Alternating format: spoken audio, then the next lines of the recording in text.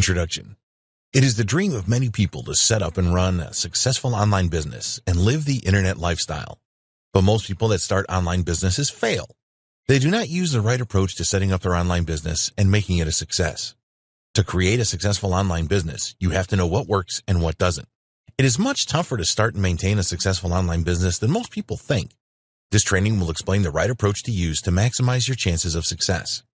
We have worked hard to provide you with everything that you need to know about starting an online business and making it a success.